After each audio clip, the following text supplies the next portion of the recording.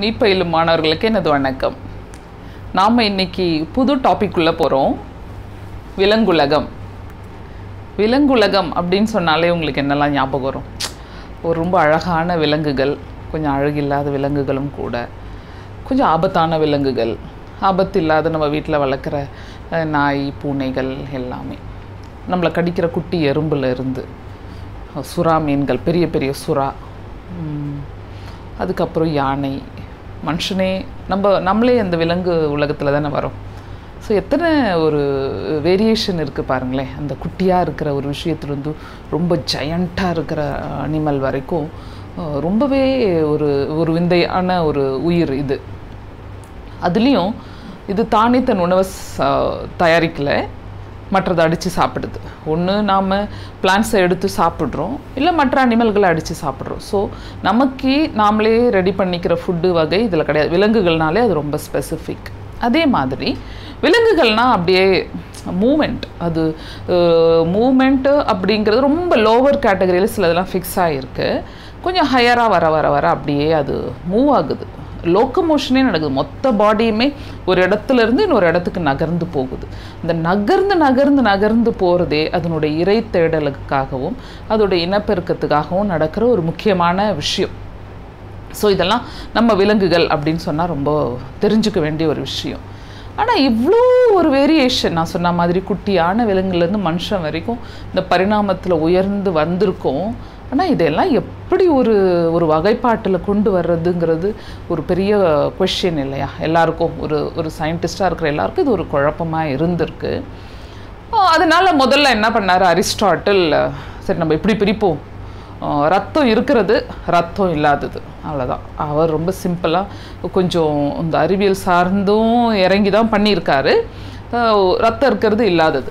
First பிரித்தார் அப்புறம் சரி விலங்குகள் அப்படின்னு சொன்னாலே தண்ணியில் இருக்குது தரையில் இருக்குது பறக்குது மரத்தில் உட்காந்துருக்கு பூமிக்கு அடியில் போய் புதஞ்சி வாழுது. தண்ணிகள்லையுமே கூட பார்த்திங்கன்னா கடல் தண்ணி அப்படியே முழுக்க முழுக்க உப்பாக இருக்கிற கடல் தண்ணியிலையும் இருக்குது நார்மலாக இருக்க நல்ல தண்ணியிலையும் இருக்குது ஸோ இதெல்லாம் யோசிச்சார் அவர். பார்த்தாரு அது வாழ்விடம் அது வாழ்விடத்தை வச்சு பிரிப்போம் அப்படின்னு சொல்லிட்டு நீரில் இருக்கிறது நிலத்தில் இருக்கிறது காற்றுல பறக்கிறது அப்படின்னு பிரித்தார் இப்போ அந்த நீர் அப்படின்னு சொன்னால் சில முக்கியமான நீர்னால் எல்லாமே அப்படியே உள்ளே போய் உட்காந்துடல எல்லாமே மேலோட்டமாக இல்லை. அதில் பார்த்தீங்கன்னா இந்த நீரில் நன்னீர் கடல் நீர். இப்போ கடல் நீர் கடல் தானே நிறைய இடத்த ஆக்கியபை பண்ணியிருக்கு இந்த ஏர்த் பிளானட்டில் அந்த கடல் நீரில் சிலது அப்படியே மேலோட்டம் மிதந்துட்டு இருக்கும். அதுங்களுக்கு அதுங்களா ஸ்விம் பண்ணணும்லாம் அவசியம் இல்லை. அது தண்ணி போகிற போக்கில் அதில் அடிக்கிற அலை போகிற போக்கில் அப்படியே தானாக மிதந்துக்கிட்டு இருக்கும். இந்த குட்டி குட்டி லார்வான்னு சொல்லுவோம். இந்த முட்டை புழுக்கள் அது மாதிரியெல்லாம். ஜூ பிளான்டான்ஸ்னு இதை சொல்லுவோம் நம்ம. அப்படியே மிதந்துக்கிட்டு இருக்குது இது ஒரு வகை. அதை விட்டுட்டு அடுத்த வகை போகிறோம்னா நீந்துபவை அது. அப்படி உள்ளே போகும் தண்ணிக்குள்ளே போய் அதுவாக நீந்துக்குது. அதுக்கு அதுக்கான அமைப்புகள் இருக்குது அதுக்கான கால்களோ இல்லை அதுக்கான செதில்களோ ஏதோ இந்த மீன்கள் மாதிரியோ இல்லை இறால் வகை மாதிரியோ அதுக்குன்னு ஒரு கால் வகை அதை அப்படியே வச்சு அது லோக்கமோட் ஆகிறதுக்கு அதை வச்சு அப்படியே நீந்திக்கிட்டு போகுது. ஈவன் உங்களை இந்த இது தவளை எண்ணத்தை பார்த்தீங்கன்னா தண்ணிக்குள்ளே அதுவும் நீந்துது. ஸோ இதெல்லாம் நீந்து போய் அதனுடைய எஃபர்ட் வச்சு அது நீந்துது. இதுக்கு இல்லாமல் சிலதெல்லாம் அடித்தள உயிரினங்கள் சொல்லுவோம் ரொம்ப ஒரு டீப் ஓஷனுக்கு போகும்போது அதனுடைய தரைமட்டம் இருக்குல்ல அங்கே போய் செட்டில் ஆகிற அங்கேயே அந்த இடத்துல கீழே போய் அப்படியே பாசிவாக உட்காந்துட்ருக்க ஆட்களும் இருக்குது அந்த கரண்ட்டில் இதெல்லாம் இந்த நட்சத்திர மீன் அதுக்கப்புறம் இந்த இந்த வகையெல்லாம் பவழப்பாறை அதுகெல்லாம் அங்கெல்லாம் போய் அப்படியே செட்டில் ஆகும். அதெல்லாம் வந்து அடித்தளத்தில் இருக்கிறது. இதுக்கு இதை தாண்டி கடல் அலை இடைப்பகுதி இந்த கோஸ்டல் ஏரியான்னு சொல்லுவோம். இந்த பீச் பக்கம் போனீங்கன்னா பீச்சோட அப்படியே அந்த தண்ணி வந்து அடித்து அடித்து வந்து மணல் சேர்க்குற ஏரியாக்களில் நண்டு இருக்கும். அது கிடுகிடுன்னு வரும். டக்குன்னு போய் அப்படியே ஒரு பொந்தில் நம்ம பார்த்துருப்போம். பீச்சில் உட்காந்துட்டு இருக்கும்போது. அந்த ஏரியாவில் இருக்கிற சில வித அனிமல்கள் அப்படியும் இருக்குது இன்னும் சில பா போ பார்த்தீங்கன்னா இப்போ வந்து ஜென்ரலாக இப்போ நம்ம நன்னீர்னு பார்த்தா நன்னீர் ஓடுற நீர் இருக்குது அப்படியே ஸ்டாக்னண்ட்டாக இருக்கிற குளம் குட்டை ஏரிகள் அதெல்லாம் ஓடாது அப்படியே இருக்கிறது. அதுதான் இங்கே தேக்க நீருன்னு சொல்லுவோம் இந்த தேக்க நீரில் நம்மளே பார்ப்போம். நத்தை இருக்கும். அதுக்கப்புறம் இந்த ஆமைகள் அந்த தேக்க நீரில் பார்க்கலாம். ஆறுங்கிறதுல பார்க்குறத விட இதில் கொஞ்சம் பார்க்க முடியும். ஆனால் இப்போ இந்த ஓடுற நீர் இருக்குல்ல ஃபாஸ்ட்டாக ஓடிக்கிட்டே இருக்குது ஒரு ஆறு ஓடுது அதுக்கப்புறம் அருவிகள் கொட்டுற அருவிகள் இதிலெல்லாம் நீங்கள் பார்க்கலாம். முதலைகள் நிறைய இருக்கும் மீன்களும் இருக்கும் அங்கெல்லாம். ஸோ இது மாதிரி ஏன்னா அது போகிற ஃபோர்ஸில் தண்ணி போகிற போக்கில் அதால் வாழ முடியும். அதே மாதிரி இப்போ கடல் நீருக்கும் நன்னீருக்கும் இருக்கிற அந்த உப்புத்தன்மை வேறுபடுற மாதிரி அதோட உடல் அமைப்பும் அமைஞ்சிருக்கு. இதெல்லாம் இதில் வாழற சில சில மேலே இருக்கிறது கீழே இருக்கிறது அந்த மாதிரி பார்த்துருக்கோம் பார்த்துருக்கார் அவர். அதுக்கப்புறம் பார்த்திங்கன்னா இந்த நிலம் வாழ் தரைக்கு வரார். தரைக்கு வந்தீங்கன்னா சிலதாக தான் ஓடுபவை. ஓடுபவைனா இப்போ குதிரை கங்காரெல்லாம் ஓடுது ஃபாஸ்ட்டாக நடக்கிறது. அதெல்லாம் நிலத்தில் அந்த ரேஞ்சில் இருக்குது அதுக்கப்புறம் சிலது பொந்துக்களில் வாழும். அப்படியே மண் மண்ணை நோண்டி அதுக்குள்ளே போய் வாழற எலி வகைகள் அப்புறம் இந்த முயல் அதெல்லாமே கூட பொந்து ரெடி பண்ணி அதுக்குள்ளே போகும். அப்படி இல்லையா? இதெல்லாம் இல்லை. தரைக்கு மேலே வந்துட்டேன் தரைக்கு கீழே வந்துட்டேன். இன்னும் கொஞ்சம் உயரத்தில் போய் இருக்கிறேன் ஒரு பாதுகாப்புக்காக அப்படின்னு. அதுங்க மரத்தில் ஏறி மரத்தில் போய் உட்காந்து செட்டில் ஆகுது. குரங்கு இந்த அணில் அதெல்லாம். ஈவன் நம்ம பறவைகள்லாம் எடுத்திங்கன்னா அவெல்லாம் பறப்பனை தான் பறந்துகிட்டே இருக்க முடியுமா? நைட்டில் தூக்கம் அது தூக்கம் வரும்போது ஒரு பக்கத்தில் இருக்கிற மரக்கிளைகளில் வந்து உட்காந்து அங்கே அதுக்கு கூட அமைச்சிக்கிட்டோ அது உட்காந்துருது இல்லை மரத்தில் பொந்து போட்டோ அப்படி உட்கார்ற விஷயமும் அதில் இருக்குது ஸோ அதுவும் மரத்தை சார்ந்து தான் வருது. அதுக்கப்புறம் சில விஷயங்கள் நம்ம வீட்டில் பார்த்திங்கன்னா இந்த ஸ்கான்சோரியல்னு சொல்கிறோம் இந்த செவர் அப்படியே ஊ தாங்கிக்கிட்டு கிளைம் பண்ணி கிளைம் பண்ணி அப்படியே மேலே ஏந்தி போகிறது பள்ளி பள்ளி பார்த்திங்கன்னா சீலிங்கில் நடக்கும். நம்மளால் முடியாத விஷயம்லாம் அது பண்ணுறது அப்படியே போயிட்டே இருக்குது உடும்பு அப்படியே செவர்களில் ஏறி போகிறது இந்த மாதிரி குரூப்பு ஸ்கான்சோரியல்ஸ்னு சொல்லுவோம். அதுவும் அதுக்குள்ளே இருக்குது ஸோ நிலந்தான் நிலத்திலேயே ஒவ்வொரு வகையில் அது இருக்குது பாருங்கள் அந்த மாதிரி. இதுக்கு அடுத்தது பறப்பனை அப்படின்னு சொன்னால் பூச்சிகள் எல்லாம் பறக்குது. அப்புறம் பறவைகள் எல்லாம் பறக்குது. சில பறக்காத பறவைகளும் இருக்குது அதில் ஒரு குழப்பம் வந்து அங்கே நின்று இருக்குது இந்த தீக்கோழி அது மாதிரியெல்லாம் பட் பரப்பின அப்படின்னு சொன்னால் பூச்சி இனங்கள். பறவை இனங்கள் அப்படின்னு சொல்லி முடிச்சிடும். ஸோ இதெல்லாம் நம்ம ஏன் தெரிஞ்சுக்கணும்னா விலங்கு உலகத்துக்குள்ளே அப்படியே போக முடியாது. எந்தெந்த இடத்துல விலங்குகள் இருக்குது எதுக்காக அது இத்தனை சூழல்லையும் அது வாழுது? ஏன்னா அது இறை தேடி போய் ஆக வேண்டிய அவசியம். அதுக்காக அது எல்லா ஏரியாலையும் வாழற மாதிரி ஒரு பாடி அமைப்பு அது பெற்றுடுச்சு. அப்புறம் இப்போ உண்மையாலுமே நம்ம வகைப்பாடு அனிமல்ஸை நம்ம எப்படிலாம் எந்தெல்லாம் வச்சு அதை மொத்தமாக நம்ம வகைப்படுத்தியிருக்காங்க? எந்த அடிப்படையில் அதை வகைப்படுத்தினாங்க? எப்படி ஒரு செல் உயிரியா பல செல் உயிரியா? இல்லை அதுக்கு திசுக்கள் இருக்கா இல்லையா? இப்படி கட் பண்ணால் ரெண்டாக பிரியுதா? இல்லை பல விஷயமா பிரியுதா?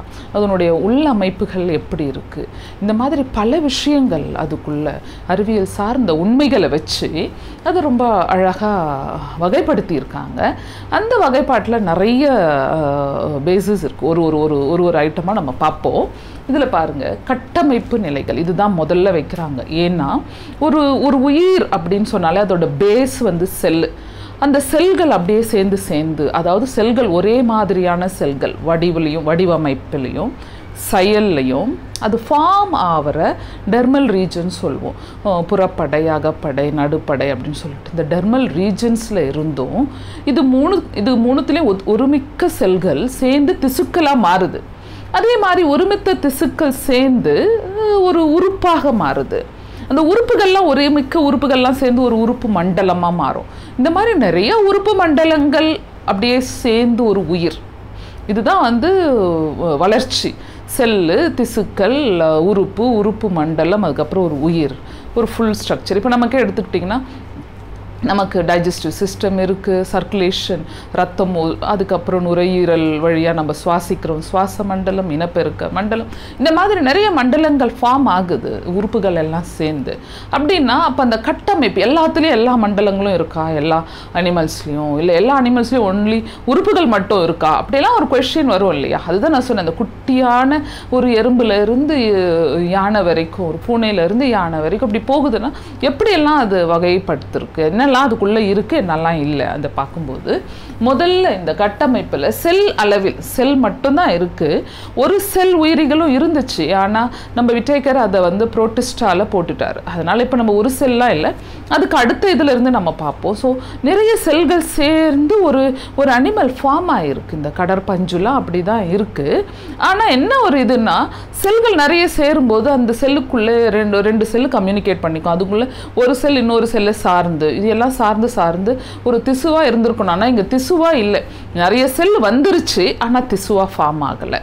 அதனால் இது அப்படியே செல் அமைப்புலேயே நின்றுருச்சு அடுத்த அமைப்பு போனீங்கன்னா திசுக்கள் அளவில் அது வளர்ந்துருச்சு. திசுக்களாக ஃபார்ம் ஆயிடுச்சு. அதாவது ஒரு செல்லுக்கும் இன்னொரு செல்லுக்கும் இன்ட்ராக்ஷன் இருக்குது அது அதுக்கு என்ன நடக்குது இதுக்கு என்ன நடக்குதுன்னு அது தெரிஞ்சுக்குது. அது ரெண்டுத்துக்கும் நடுவில் ஒரு கம்யூனிகேஷன் இருக்குது இதெல்லாம் நடக்கும்போது தான் அது திசுக்களாக மாறுது. ஸோ திசுக்கள் அளவில் ஹைட்ரா இருக்குது அடுத்த கேட்டகரி இருக்குது அதுக்கு அடுத்தது உடல் உறுப்பு. உடல் உறுப்புகள் ஆர்கன் ஃபார்ம் ஆகுது. அந்த ஆர்கன்னா இந்த தட்டைப்புழு அந்த குரூப்புக்கு வரும்போது ஆர்கன் ஃபார்ம் ஆகுது.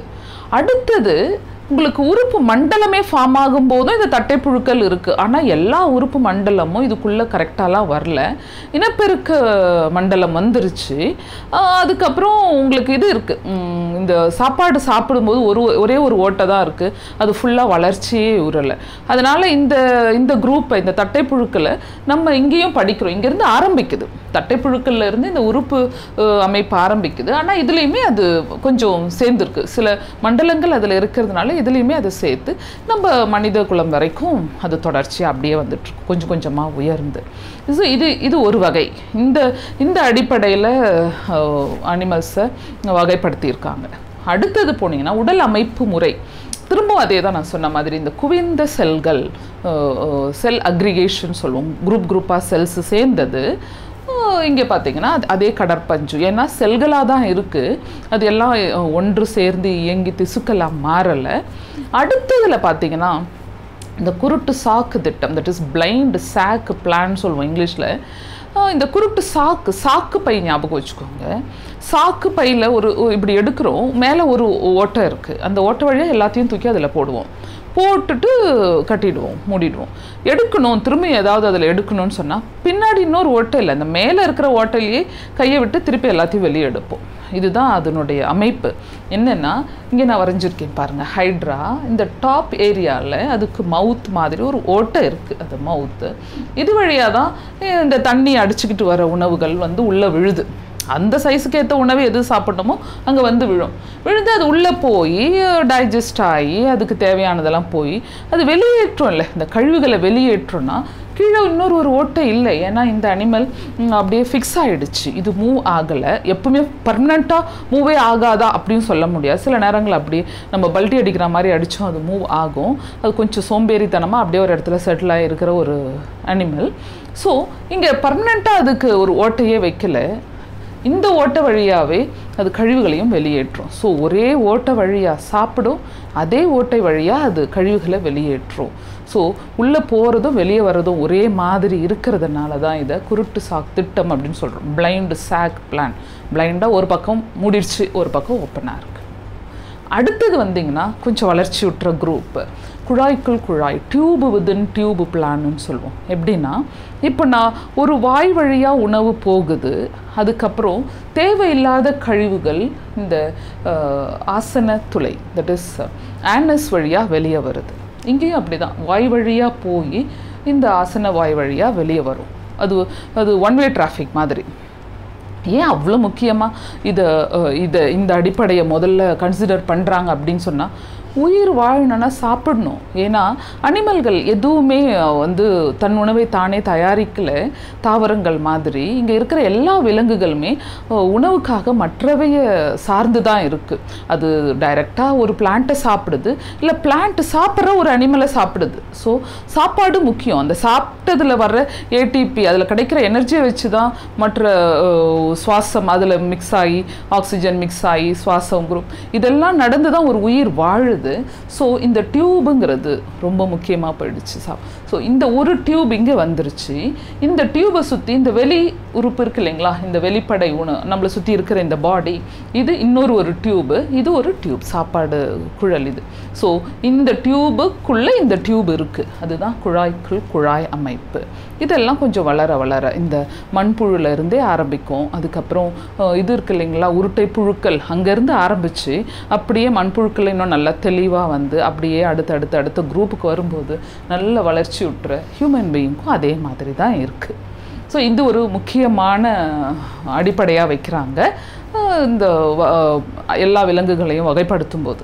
அடுத்தது சமச்சீர் அமைப்பு. சமச்சீர் அமைப்புனா இப்போ ஒரு அனிமல் எடுத்துக்கிறோம். அதை எப்படி கட் பண்ண சி சில அனிமல்ஸை ஒரே ஒரு பிளேனில் தான் இப்படி கட் பண்ணும்போது ரெண்டாக பிரியும்.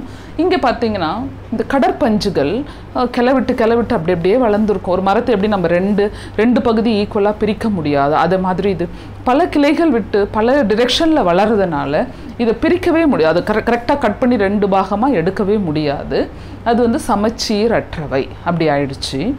இங்கே வந்தீங்கன்னா ஆற சமச்சீர் அமைவு. இங்கே இப்போ ஹைட்ராவை இப்போ ஒரு ரவுண்ட் எடுத்துக்கோங்க. ரவுண்டில் இந்த பக்கம் கட் பண்ணாலும் ரெண்டு ஈக்குவல் சைஸ் கிடைக்கும். இல்லை இப்படி கட் பண்ணாலும் ரெண்டு ஈக்குவல் சைஸ் இப்படி கட் பண்ணாலும் ரெண்டு ஈக்குவல் சைஸ் ஸோ எந்த பகுதியில் இந்த அனிமலை நீங்கள் கட் பண்ணாலும் ரெண்டு ஈக்குவல் பாகங்கள் கிடைக்கும். இப்போ நம்ம நட்சத்திர மீன்லேயும் அது இருக்குது ஹைட்ராலையும் இருக்குது இதுதான் ஆற சமச்சீர் அமைவு. எப்படி வேணால் கட் பண்ணலாம் ஆனால் ரெண்டு ஈக்குவல் சைஸஸ் கிடச்சிரும் ரெண்டு ஈக்குவல் இப்போ இங்கே வரும். அடுத்தது இருபக்க சமச்சீர் அமைவு அப்படின்னா ஏதாவது ஒரே ஒரு பக்கம் கட் பண்ணால் ரெண்டு ஈக்குவல் சைஸ் கிடைக்கும். இப்போ ஒரு ஹியூமன் பீயிங்கை இப்படி நம்ம கட் பண்ணோம்னா ரெண்டு ஈக்குவல் பாகங்கள் இருக்கும். அதே மாதிரி இங்கேயும் இந்த பகுதியை கட் பண்ணால் ரெண்டு ஈக்குவல் இந்த பக்கம் இந்த பக்கம் ஒரே மாதிரி. ஆனால் நடுவுலலாம் நம்ம கட் பண்ண முடியாது. புரியுது? ஸோ இப்படி போகிறது ஆர்எல்ஸ் இப்படி வர்றது. இதுதான் இந்த இருபக்க சமச்சீர் இருபக்கம். அதாவது ஏதாவது ஒரு பிளேனில் கட் பண்ணும்போது மட்டும்தான் ரெண்டு ஈக்குவல் சைஸஸ் நமக்கு கிடைக்கும். அது அதுதான் கொஞ்சம் ஒரு ஒரு வளர்ச்சியுற்ற நிலை. இது ரொம்ப பிரிமிட்டு இது ரொம்ப வளர்ச்சியுற்ற நிலை. ஸோ இது எல்லாமே ஒரு பேசிக்காக இது இந்த அடிப்படையில் விலங்குகளை வகைப்படுத்துகிறாங்க இன்னும் இருக்குது நிறைய இருக்குது அதனுடைய உடற்குழி எப்படி இருக்குது அதுக்கப்புறம் அதில் முதுகு நான் எப்படி இருக்குது அதெல்லாம் நம்ம வரும் வீடியோக்களில் படிப்போம். இந்த இது வரைக்கும் சொன்னதில் ஏதாவது உங்களுக்கு குழப்பம் இருக்கிற மாதிரி இருந்தால் கமெண்ட்ஸில் அனுப்புங்க. நம்ம ஷேர் பண்ணுங்கள் அதுக்கப்புறம் சப்ஸ்கிரைப் பண்ணுங்கள் தேங்க்யூ